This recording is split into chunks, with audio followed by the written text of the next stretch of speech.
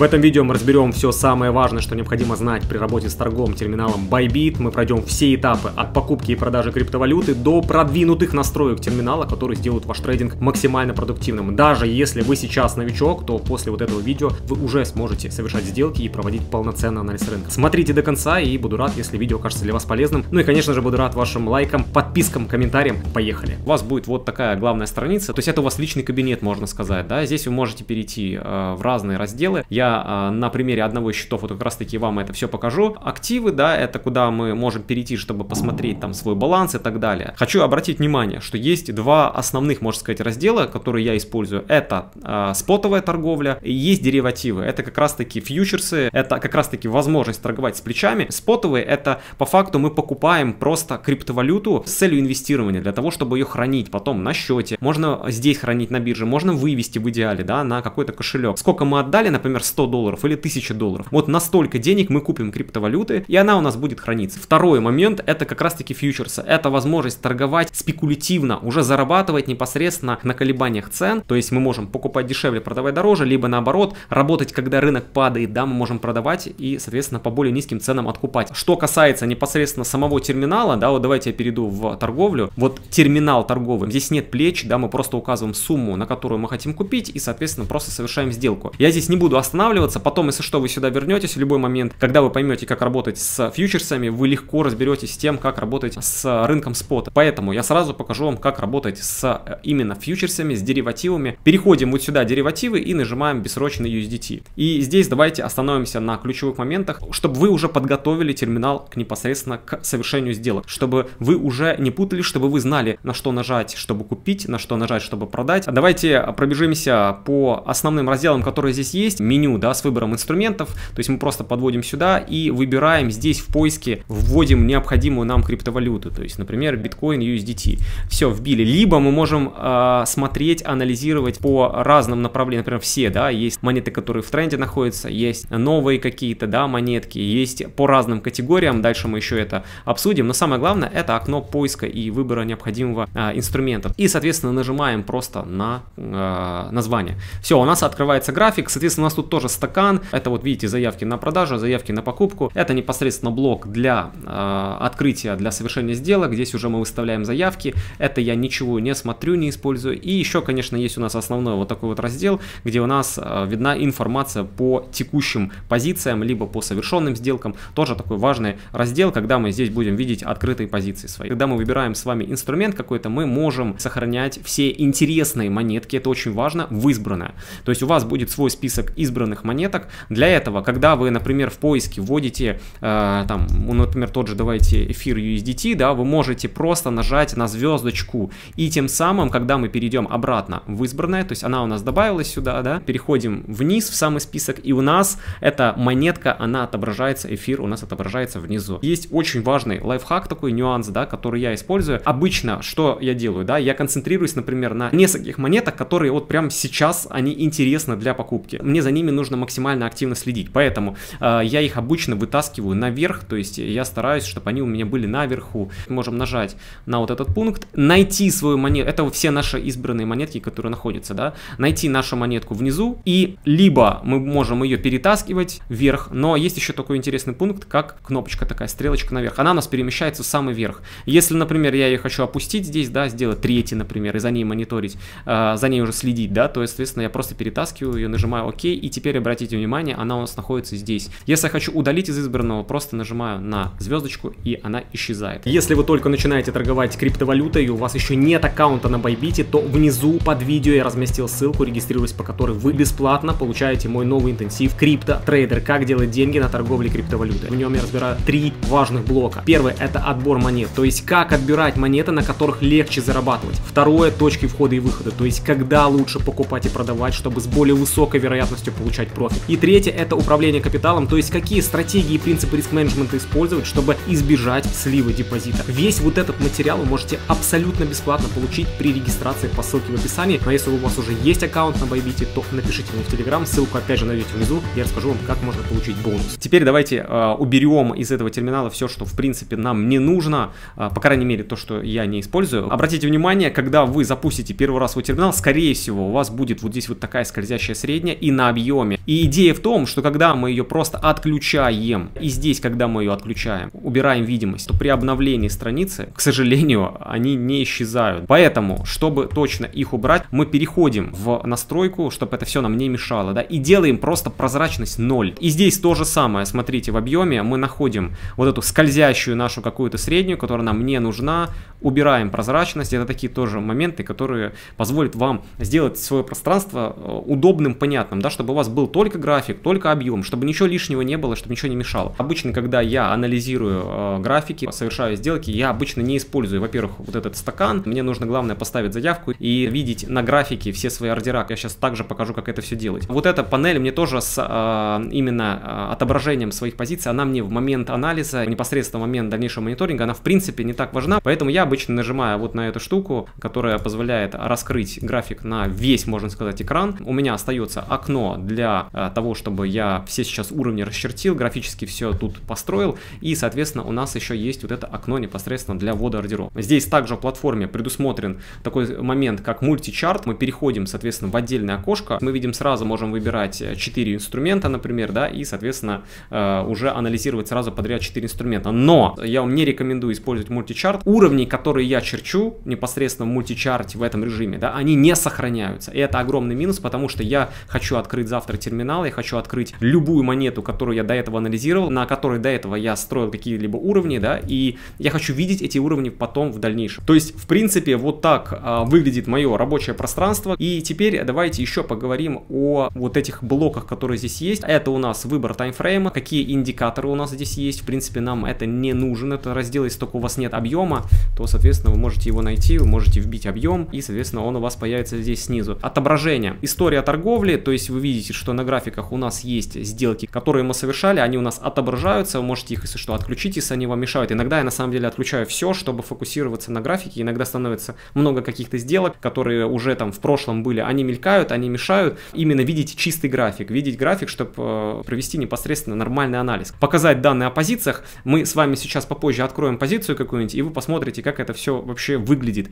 Э, и у вас данные о позициях, она будет отображаться, будет информация об открытой позиции. И э, данные э, ордера, здесь тоже важный момент, это как раз-таки все ордера, которые вы будете выставлять, стоп-лоссы, тейк-профиты, лимитные условные заявки, все они будут видны на графике. И это очень удобно, тем более э, в терминале есть возможность работать с ордерами прямо на графике. То есть можно перетаскивать ордера эти руками, передвигать их, э, выставлять на какие-то другие уровни. Это очень-очень удобно, это супер крутая функция, супер полезная. Дальше, соответственно, что у нас еще есть в меню? В принципе, выбор, формат свечи, бары. Здесь смотрите, как вам удобнее. Теперь еще важен такой момент, как вынести вот эти элементы графические и вообще какие графические элементы я использую. Для меня самое главное это горизонтальные уровни. Смотрите, здесь есть э, такая штука, как горизонтальная линия, но я, как правило, не использую их, потому что она на всю длину идет, а мне очень важно понимать, на какой именно уровень я фокусируюсь. Я для себя такую модель выбрал, возможно, вам она тоже понравится. Например, бывает, что э, важна вот эта опорная точка, да, и, соответственно, я отсюда ее и построю. Если же у меня была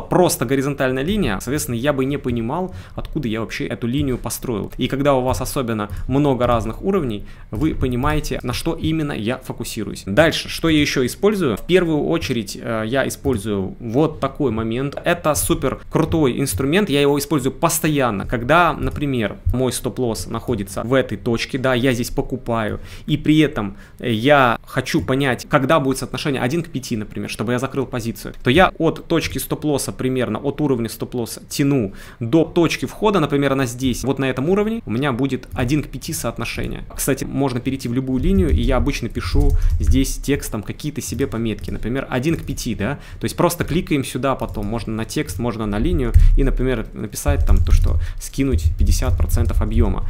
А, все, для меня теперь все визуально понятно, я понимаю, как мне действовать в этой ситуации. Это нереальнейшим образом удобно, вы, вы не считаете это все руками, а, это делается все при помощи одного инструмента. Давайте еще поговорим о том, как построить вот этот инструмент. На самом деле это такой инструмент, как коррекция по Fibonacci. В исходном виде он будет совершенно другой, поэтому вы можете использовать те настройки, которые сделал я лично для себя, то есть я и цветами тут обыграл все, да, то есть вот я сейчас это показываю на экране, вы можете потом просто нажать на паузу, сделать так же, то есть здесь самое главное, э, нужно отключить лишнее и вот этот с первым вот этим столбцом работать, то есть поставить везде галочки и настроить, видите, 1, 0,5, 5, 0, минус 1 и так далее. То есть вы можете тут, в принципе, сами какие-то цели свои, возможно, потом в дальнейшем подстроить, да. Все. То есть тем самым у вас будут вот такие настройки. Пока вы сохраняете настройки зоны дисконта, я приглашаю вас подписаться на мой телеграм-канал. Ссылочка находится в описании под этим видео. Там я даю еще больше полезного материала по трейдингу, крипте, инвестированию, публикую разборы своих сделок, делюсь мыслями по рынку и актуальными торговыми идеями, которые отрабатываю прямо сейчас. Поэтому, если вы хотите еще сильнее прокачаться в теме трейдинга, начать лучше понимать рынок и совершать более осознанные сделки, то ссылка находится под этим видео. Переходите и подписывайтесь. Все, по сути, два основных инструмента, которые использую, остальные моменты на самом деле можно убрать, здесь они не обязательны. И, кстати, давайте мы сейчас прямо это и сделаем. Вот, например, линия данных, в принципе, я ее редко использую. Мы можем просто нажать на вот этот, на эту звездочку, да, и убираем из избранных. И опять же важный момент, как поменять цвет, потому что э, обозначать э, визуально уровни, это тоже очень важный момент. Э, вы будете это в анализе потом использовать, вы будете сразу понимать, какой это уровень. Это локальный уровень, либо это какой-то стратегически важный уровень, например, дневной, обычно у меня розовый, да. То есть, соответственно, вы переходите, просто кликаете на уровень, да, выбираете цвет любой, и, соответственно, у вас все это меняется. Поехали дальше. Теперь перейдем к важному такому моменту, как открытие позиции. Давайте откроем какой-нибудь биткоин. И здесь есть такой момент, как лимитные рыночные условные заявки. В принципе, вы должны уже понимать, что это такое. То есть лимитное мы выставляем по какой-то определенной цене. Если мы хотим купить, то только ниже рынка, потому что лимитные срабатывают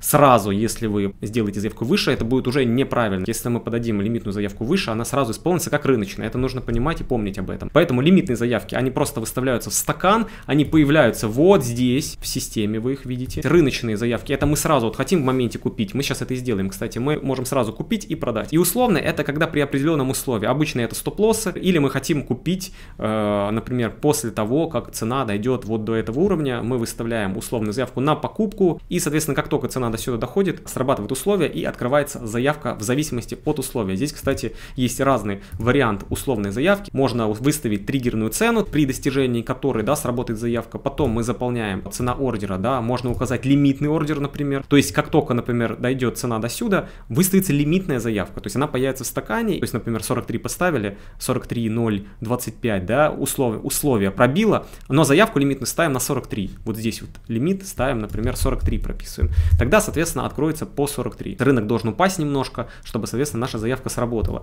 Но я, как правило, если условный ставлю рыночные заявки, понятно, что по рыночным заявкам немного больше комиссия. Если есть возможность, э, то ставьте всегда лимитные заявки, но стоп-лосс это всегда будет, э, можно сказать, рыночная заявка, то есть здесь мы уже никак не сэкономим, лучше всегда выйти, лучше не пытаться там как-то выйти лимитный. Ваша задача при э, срабатывании стоп-лосса быстро выскочить из вообще из текущей позиции, а входы можно в принципе входить при помощи лимитных заявок. Что здесь важно также отметить? Во-первых, здесь заполнить по стоимости. Вот это два разных раздела. Здесь можно изначально будет в стандарте заполнить по количеству, скорее всего. Вы должны прям знать, сколько вы биткоинов купите, там это количество. Поэтому э, я, как правило, использую заполнить по стоимости. Это именно в USDT. То есть по факту мы в долларах понимаем, насколько мы хотим купить. Да, например, 10 USDT, 10 долларов. Здесь э, очень важный такой момент, как расчет риска. Поэтому я сейчас дальше покажу, как это делать. Еще хочу отметить следующий момент, это плечи. То есть вот здесь вот идет настройка плечей. Здесь вы можете выбирать на самом деле разные плечи, потому что в любом случае расчет риска вы будете делать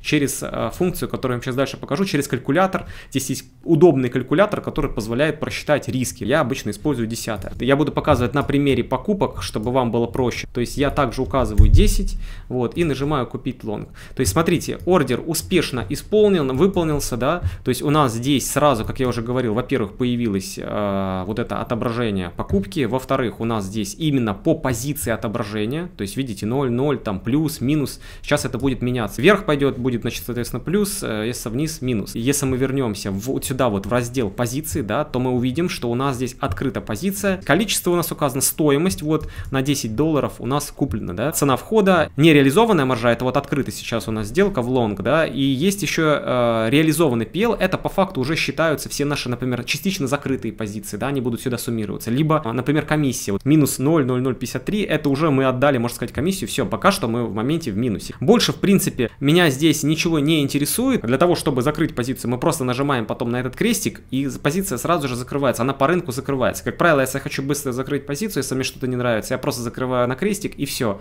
не заморачиваюсь. Мы можем, конечно, ставить лимитные теперь заявки, то есть, например, я хочу по 10, то есть я выставляю 10, например, да, и я хочу продать. Вот я раньше так делал, это не совсем здесь правильно, так лучше лимитные заявки вообще не выставлять, только если вы хотите открыть позицию. Но если вы хотите ее закрыть, лучше так не делать, да, потому что у вас расчеты будут другие, у вас открыто на одно количество сделка, да, а закрывать вы будете, соответственно, когда вы закроете здесь, у вас все равно останется позиция открытой. Поэтому я вам просто покажу, как можно выставить, да, например, выставить заявку, я все равно выставлю на 10, и я выставляю лимитный, то есть по цене 10, например, продать, да, то есть я по этой цене хочу выставить. У меня появляется заявка, то есть если сюда дойдет, на 10 долларов будет продажа. Когда мы ставим определенные заявки, мы можем их двигать прямо на графике. Смотрите, все настолько удобно сделано, то есть, понятно, позицию мы уже никак не сдвинем, да, но вот эти заявочки, вот эти все лимитные заявки и условные заявки мы можем двигать. Если хотим вообще ее убрать, убираем.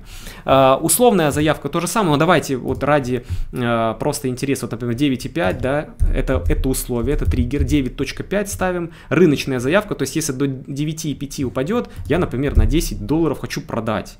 Вот, я выставляю продать, все. Если до сюда идет цена, у меня позиция закрывается. Мы э, обязательно работаем с вот таким разделом, как Take Profit Stop Loss. Это наиболее удобный и понятный вариант. То есть здесь вы сразу точно закроете всю позицию, однозначно. Поэтому вот то, что я вам показал, вот эти разделы, да, это в первую очередь для открытия позиции. Если же мы хотим закрывать, закрывать лучше через вот это удобное меню. Еще раз показываю отображение, это вот э, информация о позициях.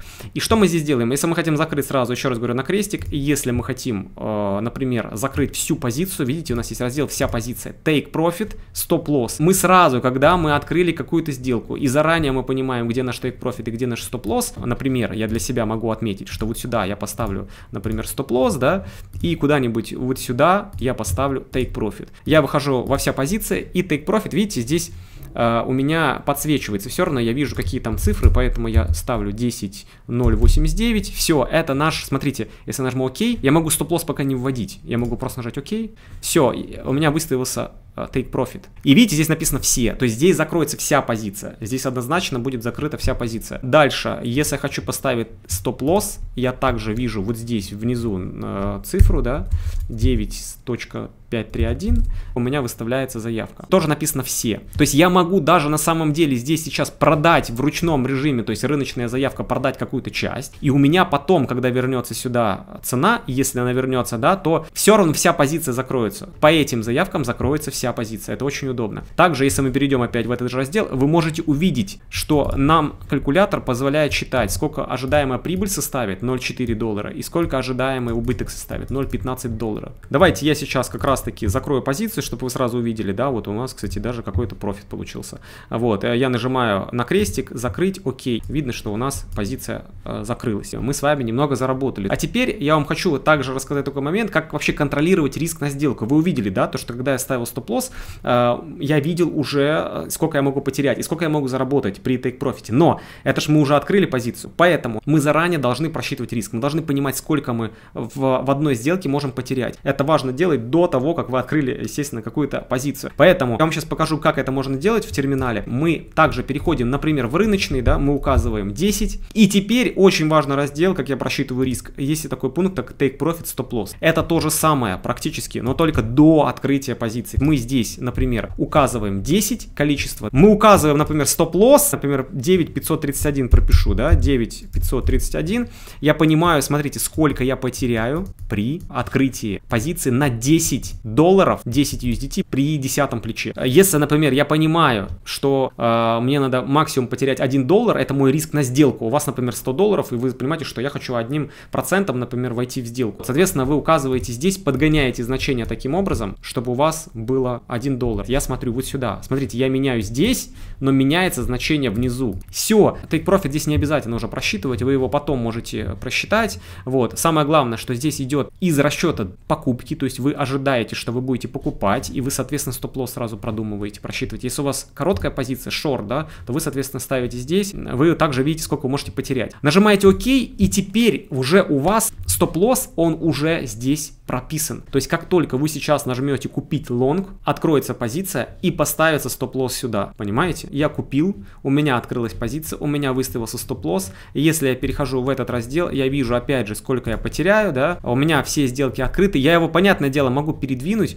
но если мы изначально знаем определенную зону, куда мы будем ставить стоп-лосс, мы это и используем. Теперь очень важный момент, как закрывать позицию частями. То есть можно выставлять несколько ордеров, то есть мы понимаем, что цена будет расти, например, да, и я хочу частично закрывать позицию по мере роста. И здесь есть очень крутая, удобная функция, которой я постоянно пользуюсь. Это частичное закрытие. Для этого мы опять переходим в раздел, а, и здесь есть часть позиций. Нам надо указать, какое количество мы должны закрыть. Например, при достижении уровня 10 мы прописываем это в take profit. Это цена, да. И сколько мы хотим здесь продать? Например, 50%. В принципе, можно ползунок двигать, можно указать руками любое значение, потому что у нас здесь количество указано, и мы примерно на количество купленной криптовалюты можем примерно понимать, там, 0,5 я хочу закрыть, да, или я хочу 1,5 закрыть, вот, и нажимаю ОК появляется наша заявка на определенное уже количество монет. И э, идея в том, что э, если мы поставим take profit на всю позицию, например, на 11 на, или на 10, смотрите, я поставил на 10.2, тут все. Если сработает вот эта заявка при движении вверх, то здесь у нас все равно закроется вся позиция. Это тоже очень удобно. А, также хочу отметить, что вы можете перейти в отображение здесь ваших заявок, именно ваших ордеров. Вот есть позиция, это именно открытая позиция, да, а есть текущие ордера. Вы можете перейти в текущие ордера, и вот видите, тут единичка, то есть у нас какой-то один ордер. Ага, вот она, монетка Ace, у нас закрыть лонг, у нас стоп-лосс тут стоит. Вот если у меня несколько позиций здесь открыто, я могу между инструментами открытыми перещелкивать, да, то есть я могу зайти сюда, потом какой-нибудь биткоин куплен, я кликаю просто на него, у меня сразу открывается график, и э, я перехожу туда. Еще один важный момент, как выставлять алерты. Алерты я, как правило, выставляю на Bybit, то есть непосредственно через приложение мобильное, то есть у вас должно быть мобильное приложение, вы его должны скачать, и, соответственно, там в разделе, когда вы переходите в э, торговлю, да, например, там деривативы, вы, соответственно, видите внизу определенный значок такой колокольчика, и вы можете на него нажать. После этого вы переходите в раздел уже с оповещениями, ищите там в поиске необходимую э, вам криптовалюту, например, которую вы сейчас торгуете, да, либо за которой смотрите, которую мониторите. Например, вы ждете, что там цена скоро подойдет к какому-то уровню. Вы можете заранее поставить алерт